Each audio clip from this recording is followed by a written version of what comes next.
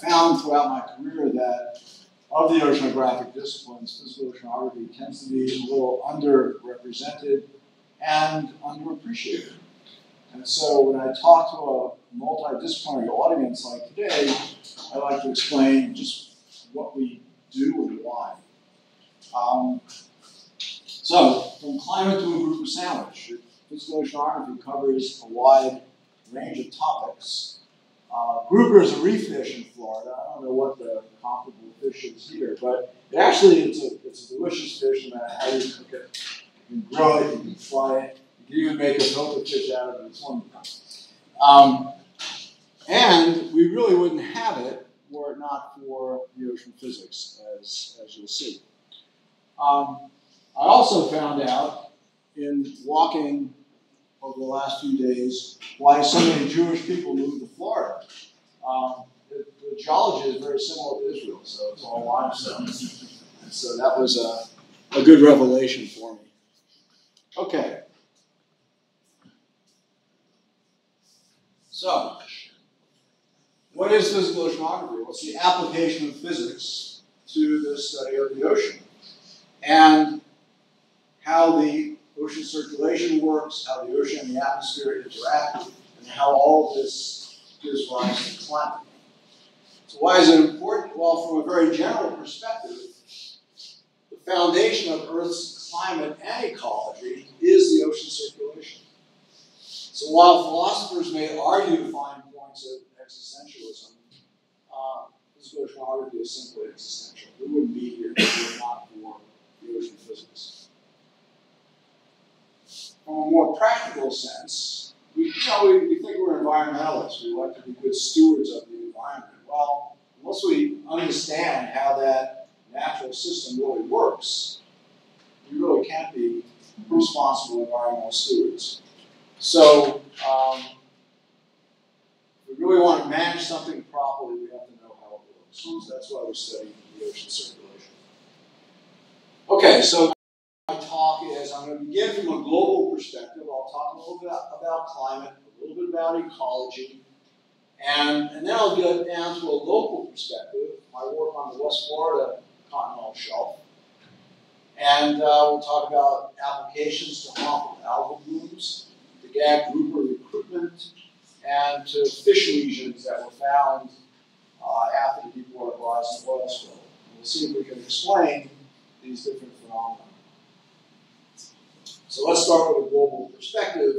I'd like to begin by looking at a picture of the Earth from space with all the clouds and all the water omitted.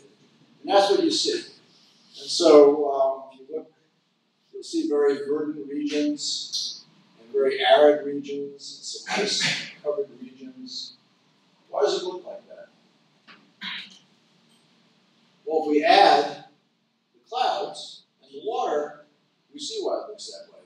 So where there's verdant regions, you have clouds, and where there's arid regions, you have no clouds. And um, so the climate on the land on which we live is determined by the ocean atmosphere interactions. And how does that come about? Well, um, you know, the Earth is a sphere, it's heated by the sun. The sun radiates at a certain temperature, the Earth radiates at a much lower temperature. So we have incoming shortwave radiation from the sun outgoing long-wave radiation from the Earth.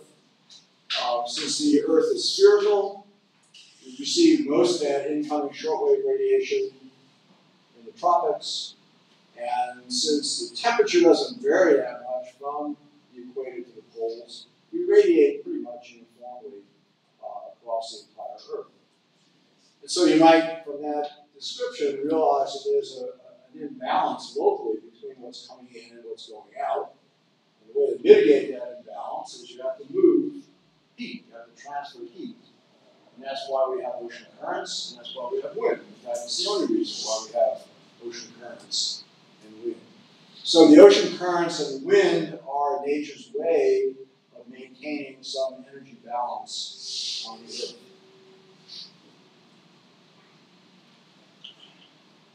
So, given that the coupled ocean atmosphere system determines climate as we know it, um, what can we say about ecology? So what the ocean circulation does is it unites nutrients with light that fuels primary productivity and thence all higher trophic level um, interactions. And so along with climate, ecology also begins with the ocean circulation. So let's take a look at the Earth from space again. And the green regions are regions where there are plants, and the blue regions are regions where there are no plants. And so every place where you see green in the ocean can be explained by the ocean circulation. So in other words, plants only exist in the ocean where the ocean circulation permits them to exist. I always like to point out this line on the equator. It's as if somebody took a paintbrush and painted a nice perfect line in the Atlantic and in the Pacific. That's because we have a divergence of fluid from the equator has to be replaced by water from below, which brings the thermocline and the nutricline very close to the surface, so it's within the lighted zone. And so plants can grow. It's both nutrients and light. If we look at this region here and that region there, that's at the northern end of the subtropical gyre, again, where the thermocline, which is very deep in the middle, comes up like a hole. And where it comes up near the surface, which is right over here, right over here, you can grow plants.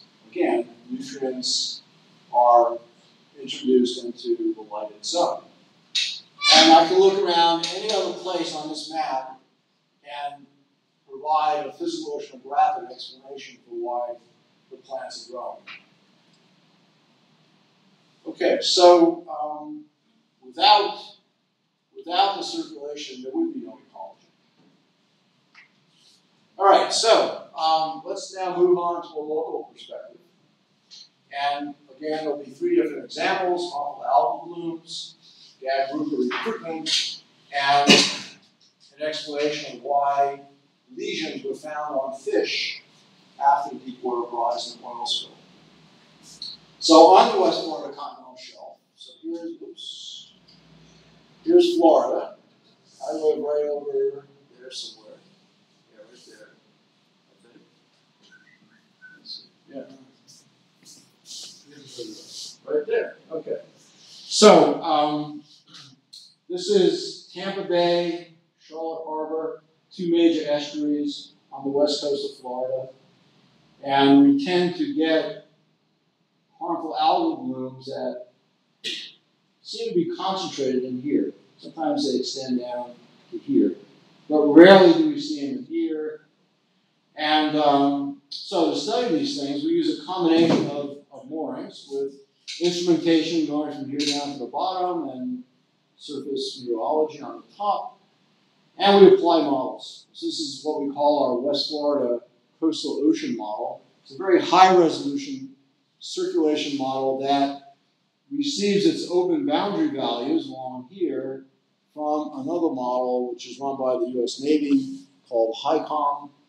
So we get our deep ocean forcing from the HYCOM, our local forcing from winds and rivers and flux, and we try to simulate the circulation on the West Florida shelf.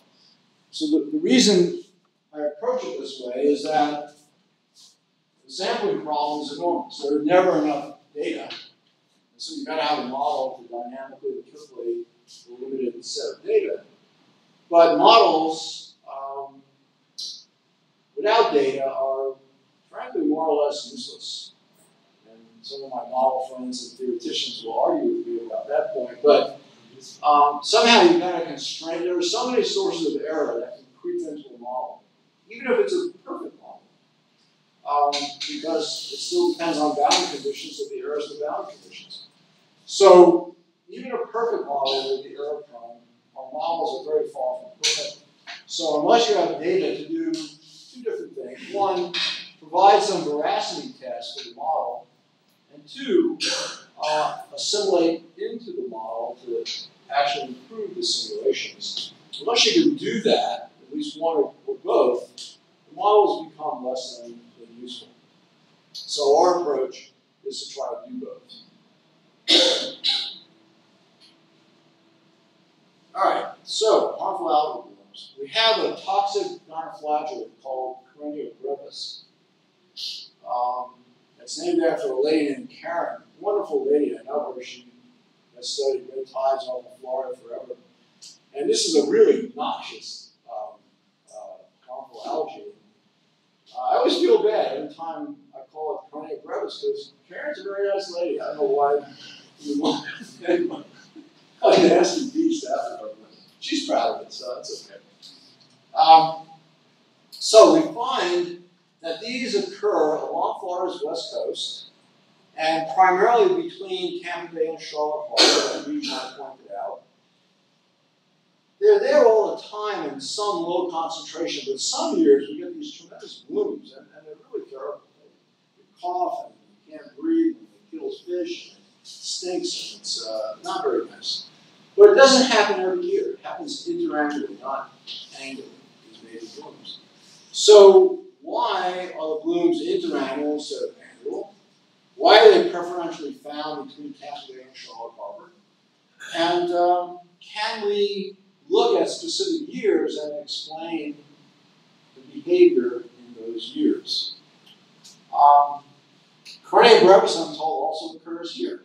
In fact, it occurs in many places around the world, and it requires what are called oligotrophic conditions, which means nutrient uh, deeply.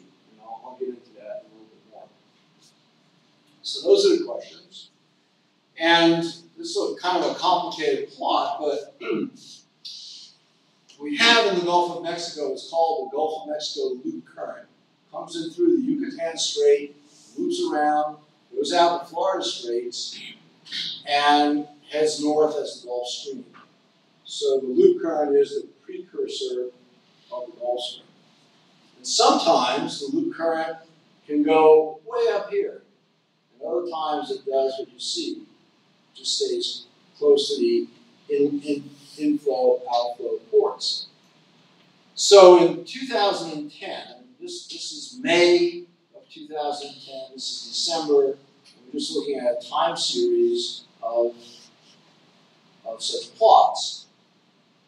In 2010, around May, the loop current shed what's called an eddy. So it, it had penetrated pretty far into the Gulf of Mexico, and it let loose this eddy. And then it retreated back to the inflow outflow ports and stayed that way through December. When it does that, it comes in contact with a set of islands over here, the last one being the dry Tortugas, which is positioned right about there. When it does that, it comes in contact with shallow water isobaths. When it's up here, it doesn't hit any shallow water. So there is a basic theorem in, in fluid mechanics um, called the Taylor-Proudman theorem. And you can argue on, on the basis of the physics behind the Taylor-Proudman theorem that fluid likes to flow along lines of constant depth.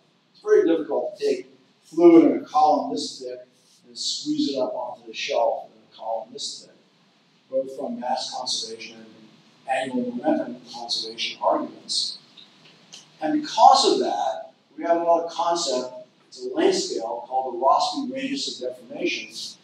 Because of those same principles, if you touch the continental shelf with a strong current like the loop current, and you put a, a pressure perturbation, a little hump in pressure on the shelf slope, that effect will only migrate in by what we call Rossby radius deformation.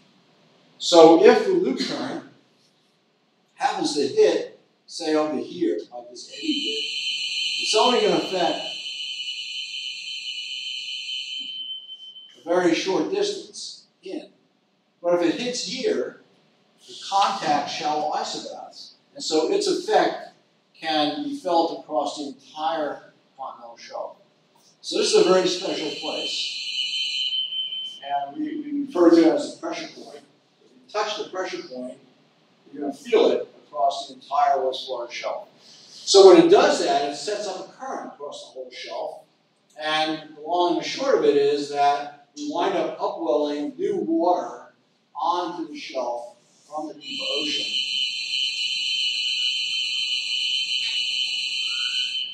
That new water has relatively high nutrient content.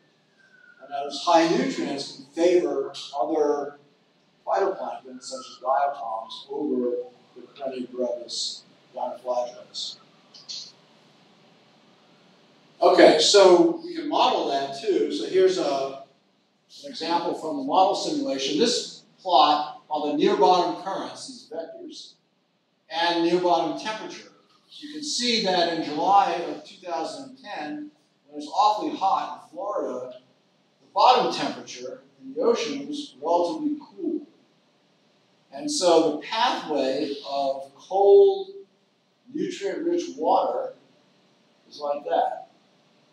You can see it in the directionality of these vectors. And so we were vecting relatively cold, relatively high nutrient water right up to the coastal zone, which suppressed the ability of the Karenia brevis to grow. Now, my, as I said, models without data aren't very useful, so we have to see if that model simulation makes any sense. This was a glider transect taken in July, and um, this is temperature, uh, salinity, chlorophyll, and uh, dissolved colored organic matter. You can see the chlorophyll is all on the bottom.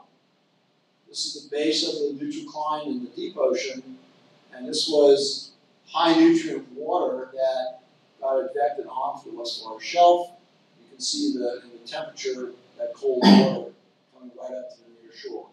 So the model did capture what was going on, so we can use the model. Um, this is temperature records from a mooring or a set of moorings. And just look at the bottom temperature. The red is observation, the green is the model simulation. We more or less did okay. Uh, we didn't get everything right, but we more or less did okay uh, for temperature throughout that year. And then these are currents. This is a year's worth of velocity vectors observed at mid-depth middle of the shelf, more or less. And you can see all these, this southward flow, which is an upwelling oriented flow. And um, this is the simulation. And so, you know, this all looks about the same, except the simulation is a little bit anemic, it's a little bit lower in magnitude, but the fluctuations and the general sense of the flow are pretty good. And so we could use the model to describe what happened in that year because there's a, a reasonable fidelity between the observations and the model. All right, so this is what happened. Um, K. brevis is a slow-growing dinoflagellate, generally outcompeted by fast-growing diatoms. So it, it can only bloom under oligotrophic conditions when the diatoms don't have enough nutrients to, uh, to grow. In 2010, there was this upwelling of new nutrient-rich water, which favored the diatoms over the Karenia brevis, and so we didn't have a bloom in 2010. The reason why Tampa Bay to Charlotte Harbor is the terminus, um, it is the preferred region for Karenia brevis, is that it is the terminus of the advection of fluid from the deeper ocean to the coast, and it passes right over the formative region for the Karenia brevis red tide, which we believe is mid-shelf, pretty much to the north of uh, northwest of Tampa Bay. And finally, um, given the logic behind the bloom that we saw in 2010, or the lack of bloom in 2010, we applied that logic successfully to predict that there would be no major bloom in, in 2013, um, and then a major one in 2014. So the physical oceanography, by virtue of ejecting nutrients onto the shelf seems to control the interannual variability of, of perennial growths. Okay, so 2005 was a major bloom as well, and um, just to give you a feeling for how it evolved, and we, we first saw it over over here. That doesn't mean that's where it formed. It probably formed out here somewhere, but we first saw it there. And it started to break the surface. And as time went on, it migrated down to here. So the color coding is the age of the observation. So um, this is when it was observed. Red is uh,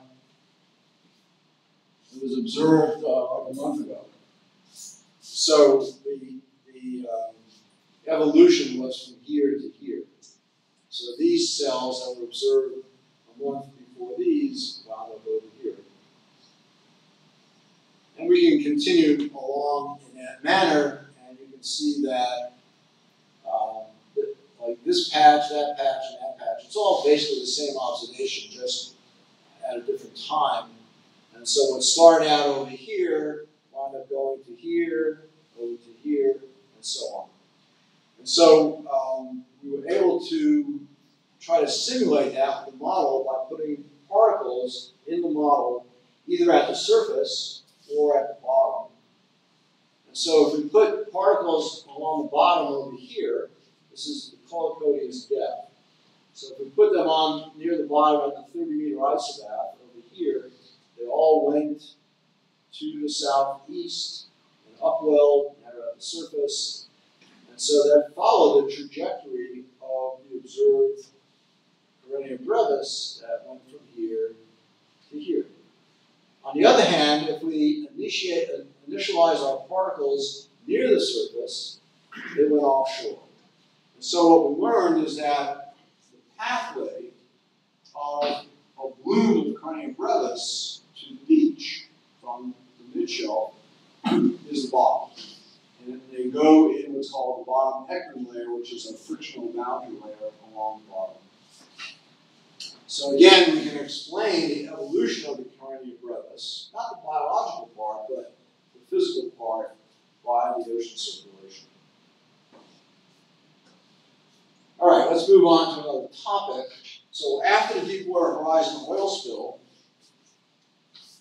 uh, fishermen started catching fish with lesions on the skin and other deformities.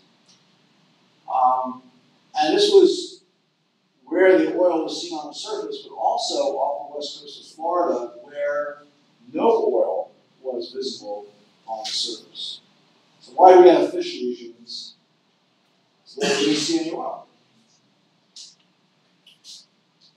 Okay, so this is renditions of where the oil was in 2010, uh, put together by NOAA. And so the red are places where satellite imagery and aircraft overflights observe surface oil. Um, on the 21st of June, 26th of June, 27th and 29th of June. And so you can see that oil at the surface got as far as this point of land, but didn't go any farther. We never saw any surface oil off the west coast of Florida. So what we did is we took our West Florida coastal ocean model and we initialized oil in the model domain where we saw it in the satellite imagery. Remember, it didn't come past this point. So this is what this was our initialization on the 19th of June 2010. And I'm not going to go into the details of how we dealt with the flux of oil on and off, but we tried to do that in a way that made physical sense. And the next plot then is a movie, next slide would be a movie loop of where that stuff went. The argument we made is that if you have oil on the surface, some of it's going to get mixed down. Because a lot of the oil you see at the surface, very, very small particle sizes. Sheen, for example, has it's on the scale of micrometers. and uh, most of the particle sizes are millimeters or smaller. And so that stuff can very easily get mixed down. In fact, if we back up a little bit, from this panel to this panel, a mere two days, we go from seeing a lot of stuff on the surface all of a sudden it's all kind of gone. Where'd it go? Well, it didn't disappear. It got mixed down into the water column. So we can make the argument that if we did see oil, say over here, then a lot of that oil would have been mixed through water.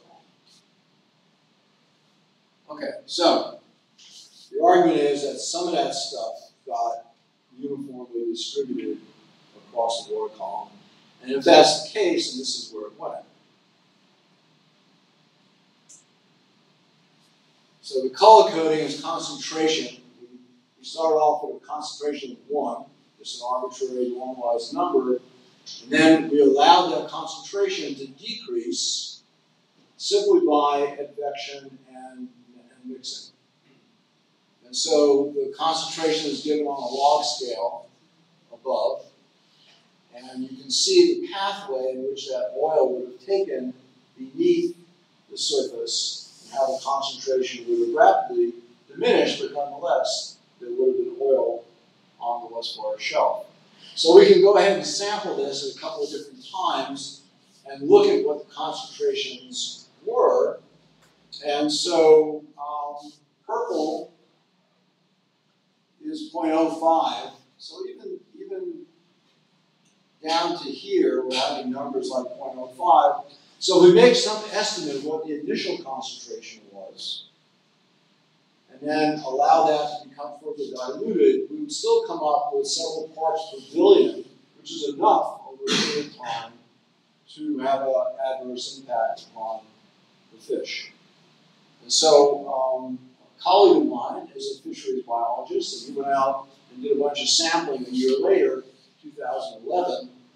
And those red dots are where he found fish with deformities and with lesions. And if you compare that distribution with the previous movie, uh, the previous movie pretty much explains why there were fish with lesions throughout the West Westwater Shelf. By the way, these were reef fish, so they don't swim around. They have a set of rocks they like to live under and they stay there. And so it's not that the fish swam from up here to here, because these fish kind of stay where they are. It's the water swam from up there to here with low concentrations of oil. Uh, there are hydrocarbons in them that gave rise to the lesions. Okay, so I think I just said that. Oil did go to the West Florida Shelf, but it was sight unseen beneath the surface. I have some colleagues in my college that they call themselves satellite oceanographers. And um, they look at color and they look at temperature, and from that they explain everything that's going on on the Earth. Um, I'm being a little facetious, but um, I'm sure you have people here that explain everything that goes on here too. Um, not everything happens at the surface. That's the point I'm making. In fact, I think most ecology begins below the surface, because that's where the nutrients are. And so it's very important as oceanographers that we look beyond. Um, uh, I, my favorite movie used to be The Usual Suspects, starring Kevin Spacey. But I can't say that anymore because it was still a great movie. But in that movie, the reason I liked it so much is, is they looked for the usual suspects, and of course they missed the perpetrator of the crime, who ironically is Kevin Spacey. So, uh, okay, so we need to look beneath the surface as well as at the surface. Right, let's move on to gag grouper recruitment. So, here's the basic problem with gag grouper. It's a wonderful fish. It lives as adults, or, or it spawns as adults at the shelf break, vicinity of the shelf break. the juveniles are found near shore, in the estuaries. They grow up in, in grass beds. Well, the juveniles, when they're being transported, they're, you know, like that. They can't swim. So how do they get from 100 kilometers offshore to the beach? That was always a mystery. All right, so here's a, a map. Um, we think that they spawn in here. Fact, these are two protected areas. There's another protected area. And so adults spawn over here, generally in winter, or from winter to early spring. And um, some 40 to 70 days later, the juveniles arrive. Um, whoops. The juveniles arrive around here. And again, just like Karenia brevis, the preferred juvenile settlement area is over here, and also over here, but not in here, and not down here. So, um, how do they get from spawning to settlement? So we addressed this with a numerical circulation model after we were able to demonstrate that the model simulation looked sufficiently like the data so that we can use a model simulation. All right, well this is what uh, this is what they look like. This is a, a young uh, gag. And here's a, a time series from April 1st to June 17th of the appearance of these guys on the beach. And I say on the beach, the sampling was done right here, a place called Mullet Key. And as you can see, they, they came in um, it was just a couple of, well, there were none of them, and all of a sudden a few of them, now a whole bunch, and, and back down to zero. So we, we have a very good tag on, on when the juveniles arrived. Know from previous studies that in biology it takes 40 to 70 days to do it, and we also know from our physical oceanographic studies that a month and a half, more or less, is under upwelling conditions is the time it takes to move a particle from the shelf break to the beach. Um, by the way, there's an interesting story here. Um, so, a colleague of mine who's a, uh, who did the sampling came to my office with a bucket of water. He walked in with this bucket of water, placed it on the floor, put his hand in, it, and took out that fish.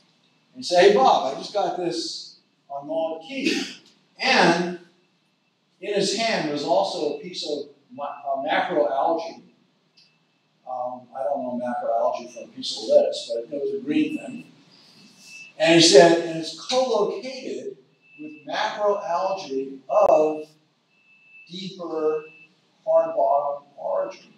So it wasn't a piece of seaweed that floated at the surface, it was also a piece of seaweed that came from the bottom. And so we had two pieces of information, the, the gag juvenile and, and, a piece of lettuce that he surfed in on uh, uh, to get to the beach. All right, so at, at, that point we set off to do this um, to do this experiment. So remember I talked about the loop current, and, and so here's the loop current, here's an eddy. This happens to be in April of 2007. So in April of two, April and May 2007, the loop current was hitting the shelf break near the dry tortugas, and you can see these velocity vectors coming down from the north, driven by this interaction of the loop current with the shelf slope. We see it in April, we see it in May, and so we know that the loop current was impacting the shelf circulation at that time. We happen to have uh, some moorings out there, and so uh, this is an observation, this is a model simulation. uh, near the surface, near the bottom, and for the period of time that we're concerned with, you can see that the currents simulated, the currents observed look very similar. Maybe the amplitude's off by a little bit, but we do have confirmation that there was a strong upwelling oriented circulation going on at that particular time, owing to the loop current interactions with the shelf slope near the dry tortugas. So here's uh, a model simulation averaged over the month of um, April. These are near bottom currents, and averaged over the month of May. The major upwelling event was in April throughout the entire month, and in May, we don't see it out here anymore, but at least we see it near the beach. And so if you look at these vectors carefully, you follow the trajectories, you can see where they head. And so the directionality of the near bottom currents, again, owing to the physics of the bottom boundary layer, what we call the Ekman layer, um, suggests that anything that was near the bottom up here would have ended up over here. So let's see how that worked. All right, so we, we positioned a bunch of neutrally buoyant particles Actually, we constrain the particles to stay in the bottom layer of the, of the model simulation here. So we position a bunch of particles at first at the surface, um, beginning on, well, this is, all of these begin on April 7th, and they run for 45 days. These are initialized at the 40 meter isobath, 60, 80, 100 meter isobath. And what you see is none of these particles gained any proximity to the shoreline. They all either went offshore farther or just stayed along the same isobath, but none of them gained any distance to the shoreline.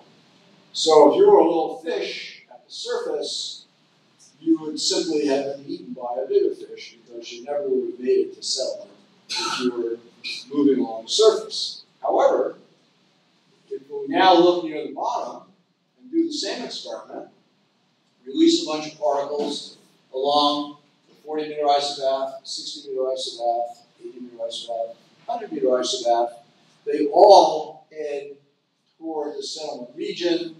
In fact, some of them actually uh, go right there. so, near bottom particles all made it toward the beach, near surface particles, none of them gained any proximity to the beach. And we repeated this at a lot of different initial times, so there's nothing special about April 7th, which is the one I chose to show. Um, and so we solved the gag grouper recruitment problem. The mode of transport from offshore spawning to nearshore settlement for gag juveniles is via an upwelling circulation um, within the bottom Ekman layer. So they literally come from spawning to settlement along the bottom, not near the surface. Curiously, um, the fisheries biologists go out all the time with nets and they, they tow these nets, and most of their tows are near the surface. Or if they tow across the whole water column, there's a lot of rocks on the bottom, so they don't, they don't like the nets to get too close to the bottom because they, they would get snagged. And so we don't have evidence from these very long surveys of, of fish eggs and larvae because they just weren't sampled in the right place. And so hopefully now um, the sampling strategy will change and we'll get some more data on it. We do have good data on settlement, we do have good data on, on spawning, but the pathway data was, was missing. Um, the thought is that the eggs are buoyant, so the eggs do come to the surface for a brief period of time, but within days, the, the, uh, the juveniles then migrate down toward the bottom, more or less stay. All right, the interesting thing, point to make, is just like the K. brevis red tide, there's a spatial order to ecology on the West Florida Shelf. We don't find the same things everywhere. Some things are here and some things are there, and there's a reason for it. And the reason for it, again, is the ocean circulation. For two reasons. The circulation determines the water properties in which organisms reside, and the circulation also determines the transport pathways taken by the water and the organisms. So the region Tampa Charlotte Harbor is such a special place because fluid that's upwelled the shelf break to the north ends up between Tampa Bay and, and Charlotte.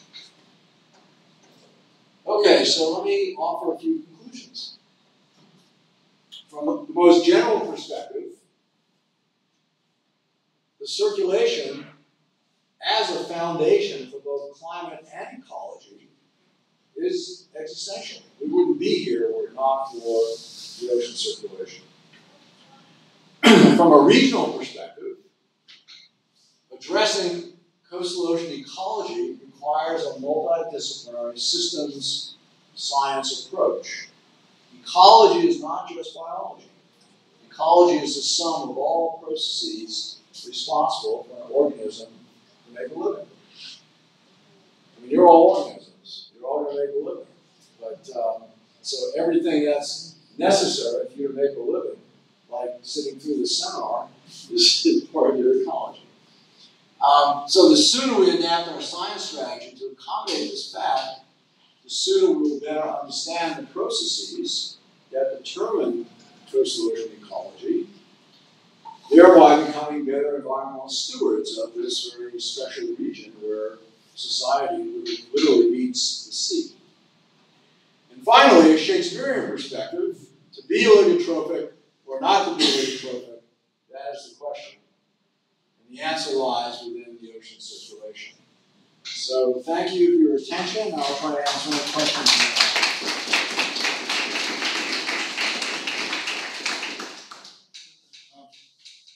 the existential part is correct if you live in, in Israel or in Florida. Uh, even if you didn't have ocean circulation, presumably you would have a narrower belt of latitudes in which climate would be very similar to today.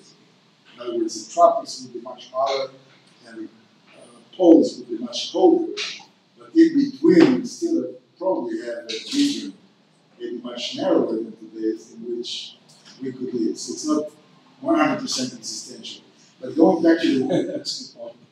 but going back chosen the right place to live. Uh, going back to the West Florida uh, oceanography, we showed us two examples in which the, the uh, fish and uh, algae, algae uh, indicated a very strong upwelling. Uh, in other words, the uh, surface currents move offshore mostly, or less, less um, uh, how should I say, the bottom water moves onshore, and therefore there must be compensating offshore at, the surface, which is less visible in your uh, data. But the oil spill uh, showed just the opposite. The surface water goes onshore, so it must be a down downwelling along the Florida coast. Are these two events related to what? To the loop current? To how come you had in 2005, 2007, you had upward in 2010, Right. suddenly had a Yeah, okay. So upwelling arises due to two different forcing functions. One being the loop current interacting with the shelf slope, which drives a prolonged southward flow along the West Florida coastline. And by virtue of the bottom friction, it causes, if I have a current flowing this way at mid depth, it's going to turn to the left and flow towards the coast at the bottom. So the loop current can force that, as it did in 2010 from May through the end of the year, and during that brief period of time that I showed in 2007. You can also get upwelling by wind. So if the winds are blowing from north to south, that's an upwelling favorable wind, which will drive surface water away from the coastline, bottom water toward the coastline. Those two things are both important. The time over which upwelling will persist under wind forcing is short relative to the time over which upwelling will persist with a, a deep ocean interaction. So during the oil spill, the oil, spill- oil spill started in April of 2010. The prolonged upwelling began around May 20th. It was, it was my birthday, it was a birthday present they sent. Um, and so from April 10 through May 20, a lot of oil was able to get toward the shore. Um, the, the winds were quite variable throughout that time. There were periods of time with strong downwind favorable winds, periods of time with upwind favorable winds, and then we had the deep ocean interactions going on. So everything was happening at once. And um, so it's, it's hard to attribute, it's hard to generalize over the whole period of time exactly what was happening. I am going to give a talk in Tel Aviv in, a, in a, two weeks that will attempt to explain how the oil got to the beach along North Florida. Um, and again, it was a combination. Not only not only was the, the, the circulation important, but the waves were also important. so I don't know if that's a, a completely satisfactory answer, but this, yeah, this is okay. Yes. Is there any influence of the biology over the circulation, or you can just treat them as particles? That's a good. That, that, oh well, the biology probably does have an influence on circulation because it changes how far the radiation can penetrate.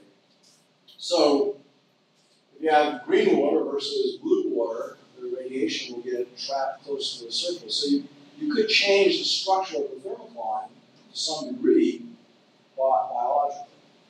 Um, I think that's a lesser impact than the- rest of the forcing functions, but nonetheless, it, does happen. Still neglected.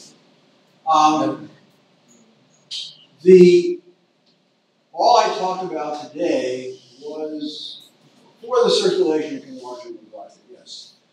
However, for the biology, of course, you can't neglect it. It's very important. All I showed was the physical impact on the movement of, of water particles and nutrients. But of course, the biological equations have all kinds of interactions that are really complicated and to do a real good job of, or a better job of describing the evolution of, say, Karenia brevis or any other phytoplankton for that matter, yeah, you've got to have the biology in there as well. But what I'm, what I'm suggesting today is that the underpinning for all that, the foundation for all that, is the circulation. And then you have a lot more details, obviously, which I didn't talk about at all. But you raise a really good point. Um, I don't know about in Israel, in the United States, there's a lot of interest in what they call ecological modeling. I'm sure you have that here too. So, how many how many people in the room are big fans of numer- numerical weather forecasting? Well, we depend on it, right? So we better be. So you have to solve seven different equations to predict weather. And, he, and these equations, you know, they have some parameters that we guess at. You know, we don't really fully understand the mixing processes and so on. So we, we have these parameters. We, we choose values for them, and on the basis of that, we, we predict weather. We also have a lot of data that can be assimilated into the model. So we have seven equations, not too many parameters, and lots of data. And we can do a reasonable job, but still, you know, it's not that great. For Karenia brevis, my buddies, my biological buddies tell me, you know, really need like 30 state variables, maybe 40, because it's a very complicated critter. Even the simplest of the phytoplanktons, you know, you need maybe um, 10 additional state variables. Oh, and by the way, a lot of parameters, not just like in, in, in, in uh, weather prediction. And these parameters are also in exponential functions. And so if you make a small error in that parameter, you can make a huge error in the prediction. Oh, and by the way, we have very little data.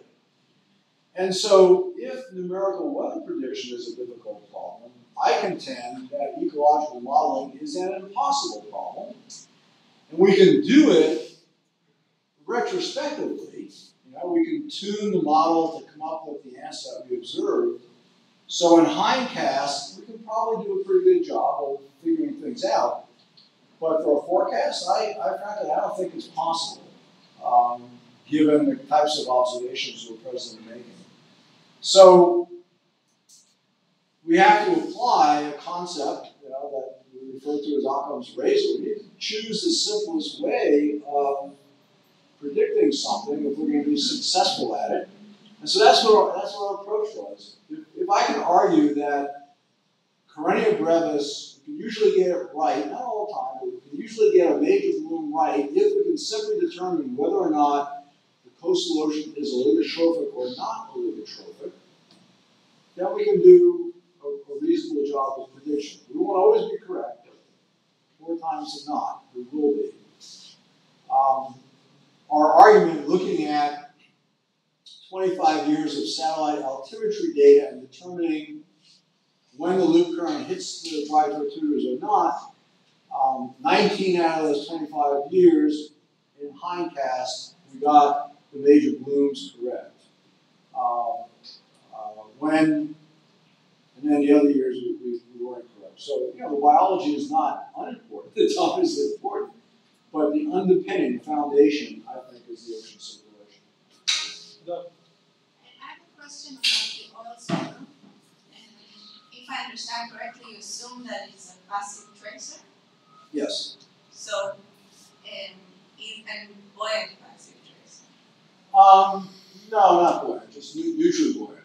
Neutral buoyant. So, do you think his assumptions, I mean, the oil is lighter than the water, and also there are processes that affect it the spilling. Yeah, that, that, that's a, that's a very good comment. If the particle size is small enough, which they generally are, the particle size is small enough, the oil, for all intents and purposes, is dissolved in the fluid. So if it's dissolved in the fluid, or the particle size is small enough to effectively be dissolved in the fluid, you can treat it as a passive, neutrally buoyant tracer. The bigger pieces obviously flow to the surface. So the materials that are taken down beneath the surface are really small